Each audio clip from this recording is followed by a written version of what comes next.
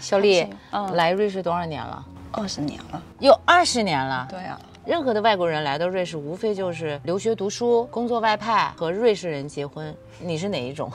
你来瑞士工作，学习。第一种工作留学。对，你来的时候是读高中还是读大学？大学刚毕业过来学酒馆酒店管理学院。你大学是在中国读的，对你已经毕业了。对，那你毕业在中国有工作吗？那一年好像还有国家分配嘛，嗯，因为我们师范类的，那你就是教书的，对。在中学 学生物。教生物。嗯对那咱俩有点像，我也师范毕业的，对但我是教音乐的，我是嗯教初中的音乐。你是在初中还是高中那时候是初中，教生物？对我觉得就像咱们父母的眼里嗯的传统的认为，这种工作是铁饭碗。一个女生在中学教书，多好的工作，那你干嘛要出国啊？你比我的思想活跃。那个时候我根本没想着我要去出国，我脑子里就没有这个想法，我就是想着就是往往北京走。嗯，是不是因为福建人出来的多？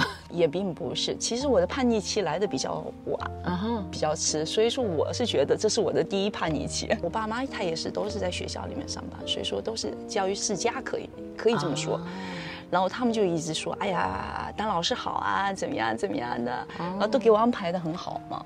然后我很少跟爸妈。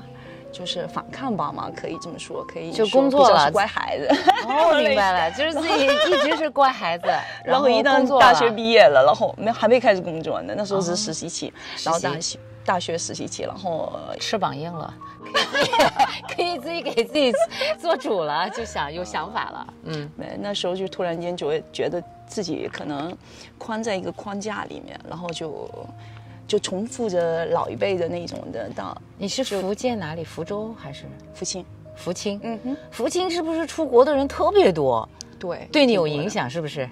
你的同学也没也没有多大影响。其实那时候就想着，哎呀，不管去哪儿，就想出去。对，就翅膀硬了，就想就想要展翅 高飞那种。那可是，那你学师范，你上的大学那时候学的是英语，肯定的啦，高考考的英语嘛，对吧？对对对，一般的孩子出来留学都会去英联邦国家，因为没有语言的问题。你为什么选择瑞士？因为瑞士官方语言没有英语，瑞士特小众。因为我父母亲觉得瑞士是比较比较安全的一个那。你还是听父母的。对啊，那时候 因为因为因为没有选择的余地，父母亲同意的话，就只能选一个他们觉得他们认为安全的地方。啊，觉得英联邦国家有点乱，美国乱。对对对对，那那时候我就觉得无所谓，我只要能出去。